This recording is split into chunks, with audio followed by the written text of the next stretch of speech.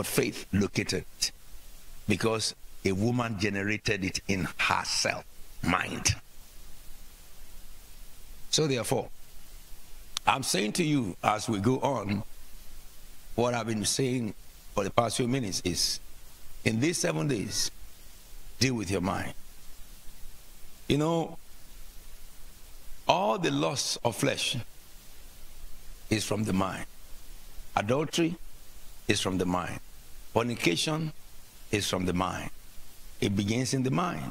You look, and thought generates. You develop the thoughts, it gets into your heart. Masturbation is from the mind. Um, uh, pornography is from the mind.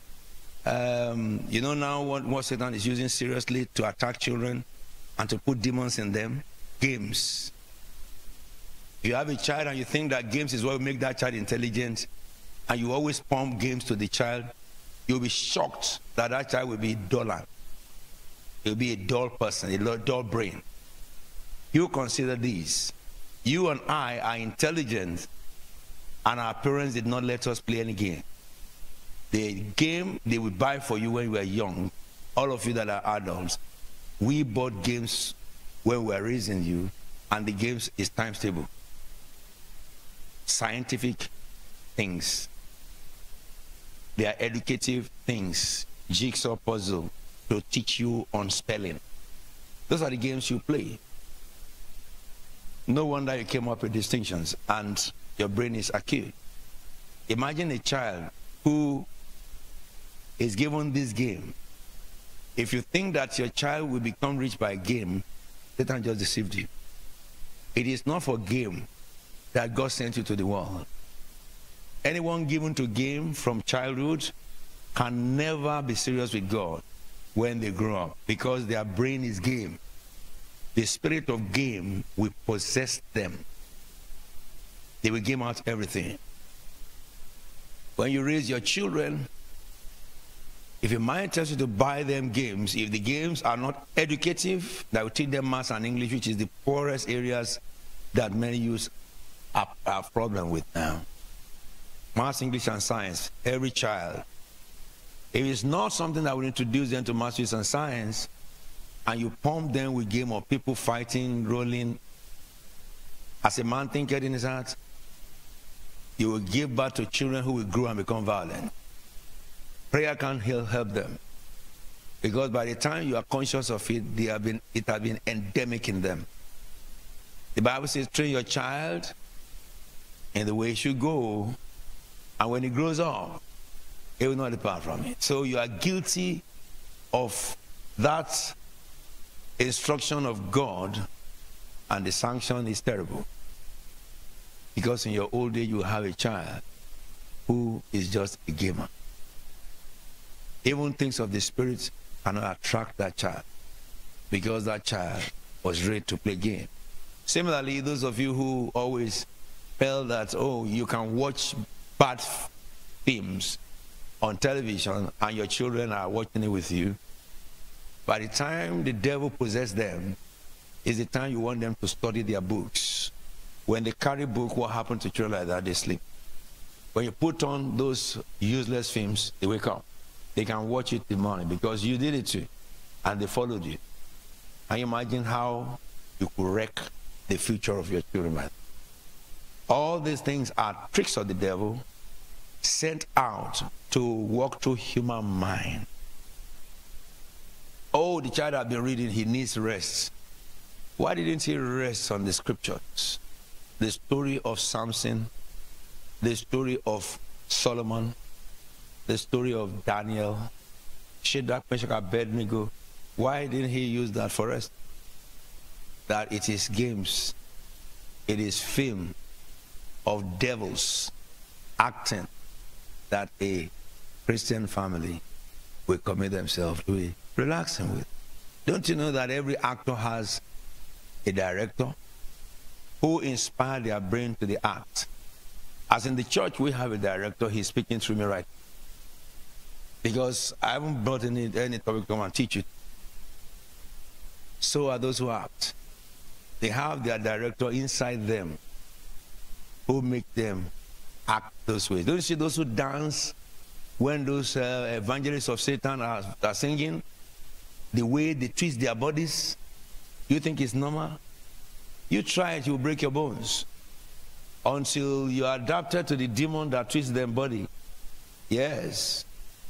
But then if you now watch those ones as a spirit work, to kill, to steal, and to destroy. And before we pray, let me refer you that now. Why is Holy Spirit speaking about your mind? Because of what we read every day. Psalm 24. Let's read verse 5 together of Psalm 24. Let's read from verse 4. Who will? Mm-hmm. Mm-hmm. Then the next verse says,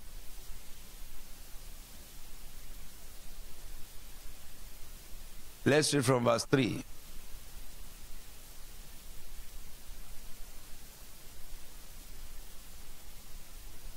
Stop.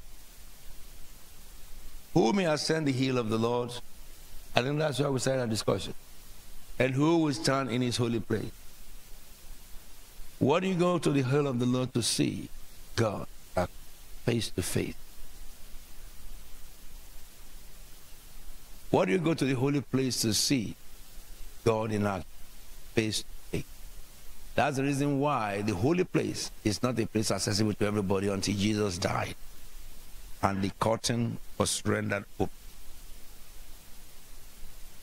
So if you want to ascend to the hill of the Lord or stand in his holy place, if you want to be in a position to see vision and trance, to be used by God, to be intelligent and increase in the knowledge of your, your career or God, to be very skillful and increase in skill, innovator of skills daily, increasingly, to be a mouthpiece of God, and your word will not fall to the ground.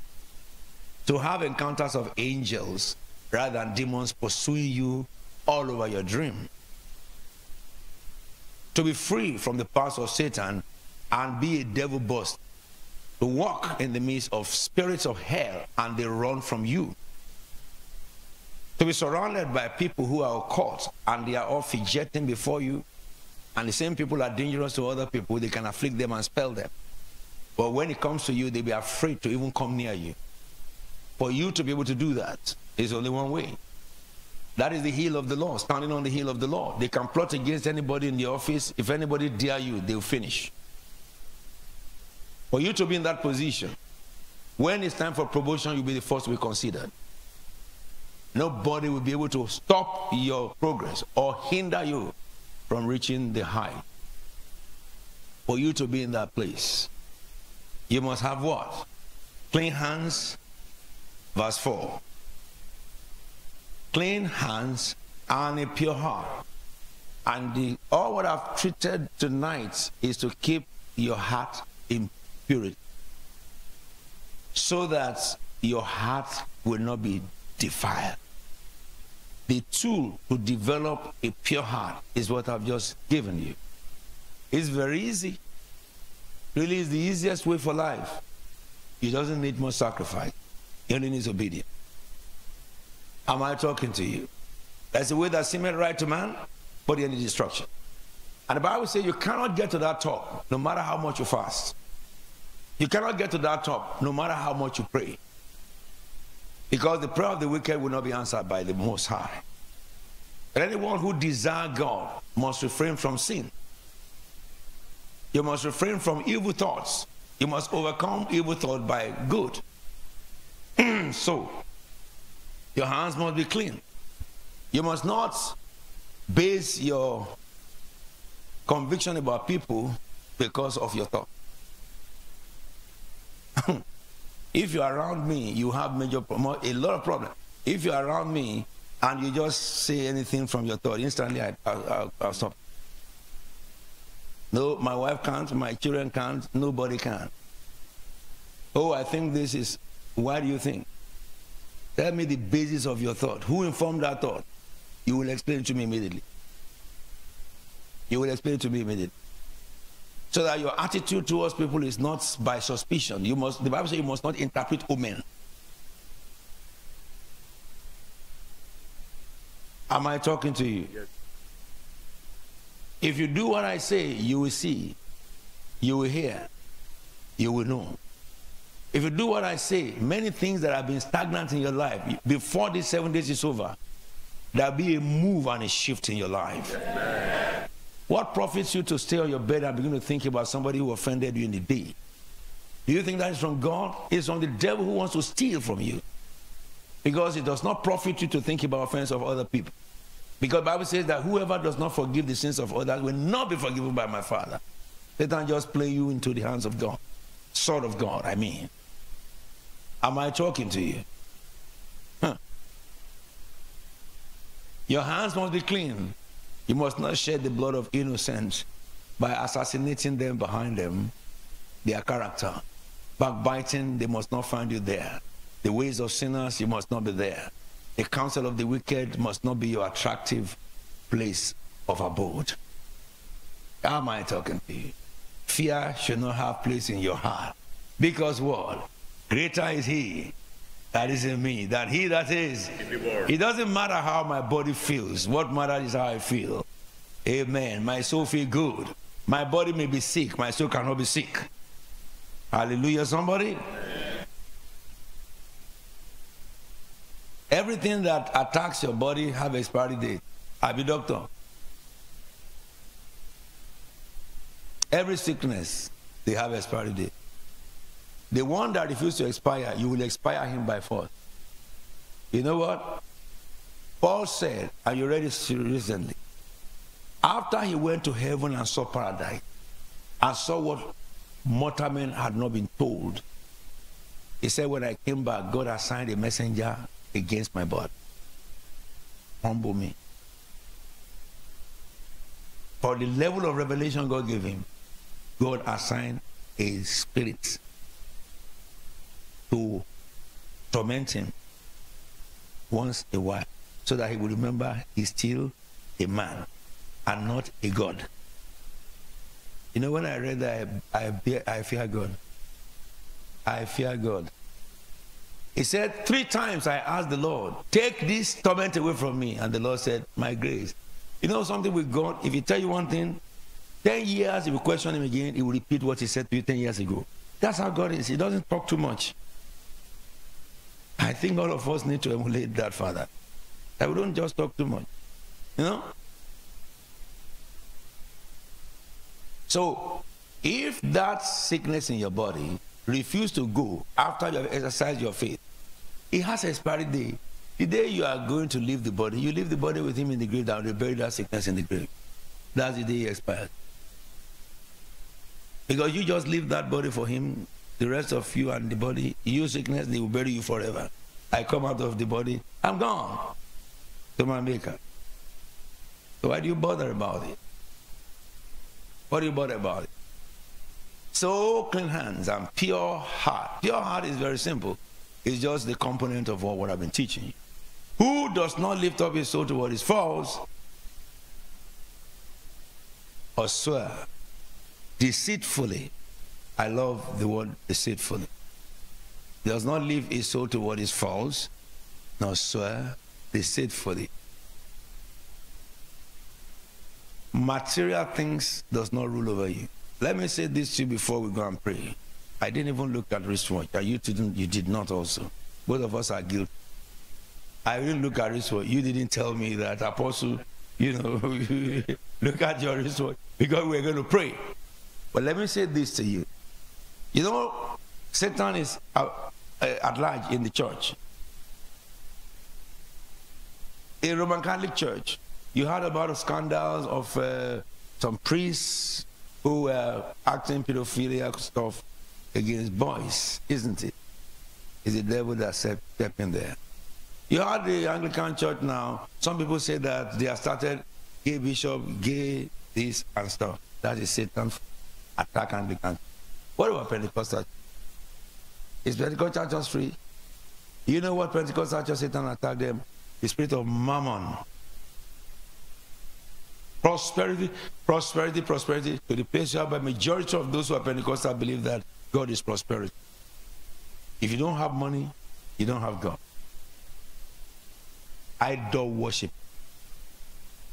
if you have a particular way you dress, and you come to the place that if you don't put on those cosmetics and dressing, you don't feel okay, then Satan has given you an idol.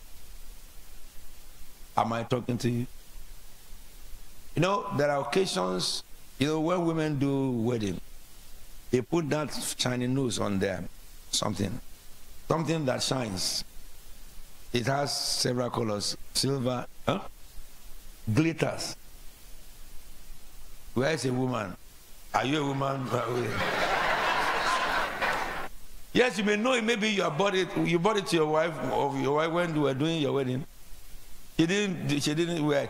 Some, some, you know, they look good when they flint their faces with that something, something shiny. Abi, they call it glitter. Glitter. Why looking at me? You call it glitter. Let me go to the young girls, Joe. The young ladies will tell me. Tell me, tell me. These guys are they are old school. Tell me what. Highlighter. Highlight. Are you a woman? Tell me, baby. You are a man. So why, why are you telling me what? According to the. So you are you are trying to echo her voice. what do you call it? Highlight. Okay, highlight. Highlighter. Highlighter. Yeah, I really highlight them. And so, you know, when you are going for wedding and the, the wife, you know, put all those things, and then they have a veil, they cover their face, isn't it?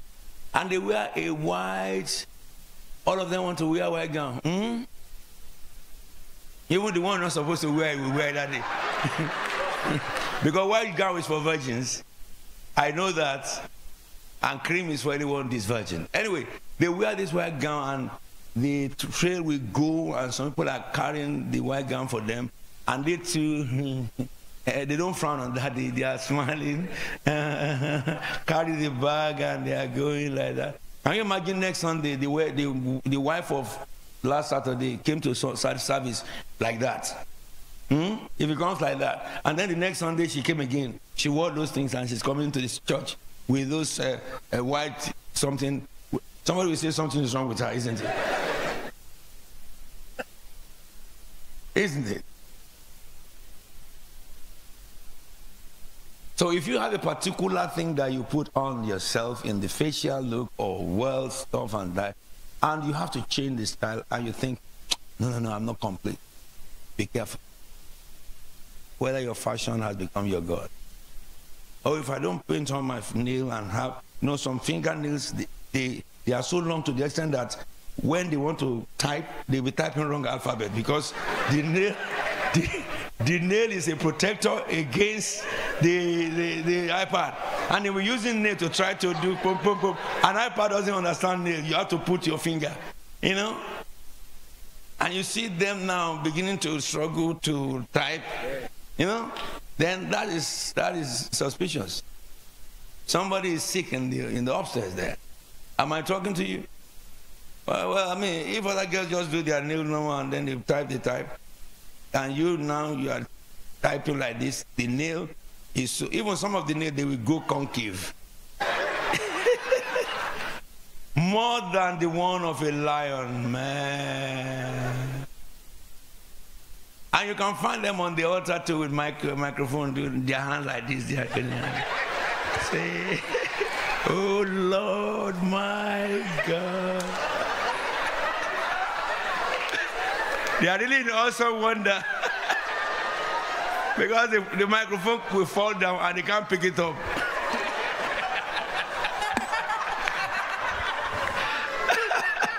if are, you know, if it falls from their hand, they have to use two hands to pick it. Yeah, yeah. Because one hand is so it's so it's so so the nails are so long, you know, that they need the assistance of carry it like this and you know the song that we sing now you know um, uh, and the moment I'm away till I lay my head I will sing of the goodness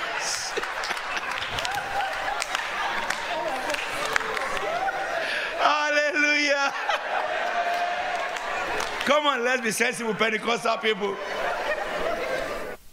Am I talking to you? And then wear torn jeans to go and worship Holy God, who is the richest in his palace. Come before him with torn jeans. Of all jeans that have sense, the one that is torn, that have no sense. You know, when you see a Christian doing senseless things, there's a spirit behind it. What does the spirit do? You will pray, cry.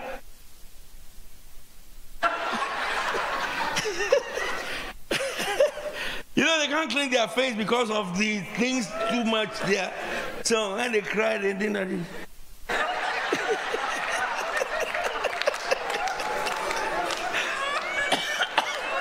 I look at them in weddings. You see them.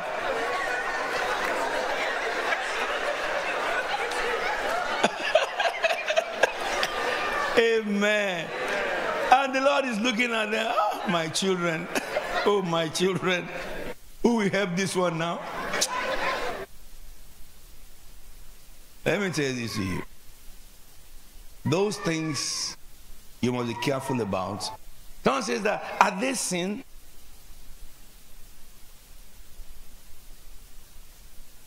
For you to ask that, you knew they were sin. Because I mean, if you don't, if something is not a sin, you won't answer that. Is it a sin? Am I talking to you? Anything that you do that rules your life, be careful about them. For Pentecostal churches, materialism is what Satan gives Pentecost. Oh, we don't believe in homosexuality, so you are not different from the one who even have bishop homosexual. Because you also have a God given you. But you know, you have to listen to me. God raised you to bring order into Pentecostal movement. These are the things that hinder believers from operating power of God. That will talk, talk, talk, talk, talk. They argue with us about Jesus because we do not have manifestation to demonstrate what we are saying. All these things that clog our mind in seven days, we must throw them away. You are now settled that as for me and me, the Lord shall we serve. We will not allow Satan to say shame on God anymore. Because everyone that God raised, Satan soon pollute them. I made up my mind because I've known the secret of life. You know, when I was praying for you, I said, Lord, if the whole world decide to turn away from you, CFT will not put you to shame. You need to understand my voice. It is not what we are now that matters, but what will become of us. What no eyes have seen, no mind has conceived God prepared for Christ's faith tabernacle who love him because you love God. You love God. Am I talking to you? So if you love God, talk God, dress God, look God. Isn't it? And we're going to pray now. 1 Corinthians 2:16. Let's stand up together and read it. Shall we? For who has known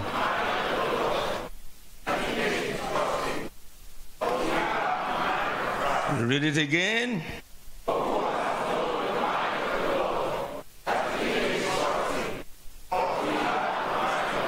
Now I'm beginning to pray and declare, Lord, I have the mind of Christ. I command my mind to submit, to submit. Lift up your voice and begin to pray. By the mind of Christ in me, Lord, I speak to my human mind. I command my mind to submit to the mind of Christ command my mind to submit to the mind of Christ. Tell the Lord, send your fire into my human mind. Everything that is not of God, take them out of me, take them out of me, take them out of me, take them out of me, take them out of me. Everything that is not of God. The least of you will become a thousand, and the smallest a mighty nation. As it is written, See, the Lord has chosen Bezalel, son of Uri, the son of Hur, of the tribe of Judah, and he has filled him with the Spirit of God. I say to you, God has chosen you, Amen. Christ Faith Tabernacle, Amen. and has filled you with the Spirit of God, Amen. with skill, with ability, with knowledge of all kinds of crafts. I speak to your soul as it is written,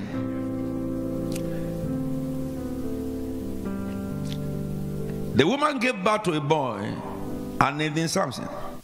He grew, and the Lord blessed him. And the Spirit of the Lord began to stir him up. The Lord bless you. In this season, the blessing of God upon you will begin to stir your spirit up so that the area of focus that God wants you to prosper, you begin to focus into it. God will change your dream to encounters. When you are walking, you will hear the voice behind you say to you, This is the way. Every form of frustra- frustration are taken away. By prophet, the Lord led Israel out of Egypt. By prophet, they enter Canaan. You have been led out by prophet out of the world. I prophesy to you, therefore, enter your Canaan. Leave your Bethel now. Go into your Canaan now. Everything you lay your hands on will prosper. According to the voice of heaven that speak eternal word, I speak upon your life. Your children shall live in the presence of God. It is a mandate of heaven to prosper the children of the righteous because I'm your spiritual father, I say you are blessed. And because you are righteous, your children are blessed. I say the powers of this age will not be able to shipwreck you. As the Lord had given me strength to keep on firing, you will never be tired. You will never be weary. Resilience that defile every odd. Receive in the name of Jesus Christ. Every sickness sent to attack our body, we put them to death in the name of Jesus. I bring every member of CFT to the clinic in heaven for examination. Anyone that needs a spare part, receive it in the name of Jesus. Kidney, liver, heart, blood system, receive brand new ones. Bones and tendons and cartilages, receive brand new ones Father, we bring everyone of this house, household, all over, everyone connected to this to, to this prayer line. We bring them and marshal them before your clinic, Lord Jesus, one after the other through the exchange of the blood of the Lamb, that the covenant of healing be fulfilled. That the covenant of healing be made manifest for the prosperity that you are provided. Your people need good health to enjoy it. So you receive it in the name of Jesus. Thank you, Father, because it's done. Thank you for this day. In Jesus' holy and anointed name we pray. Somebody say amen. Somebody say amen. Somebody say amen. Put your hands together for the living God. Hallelujah.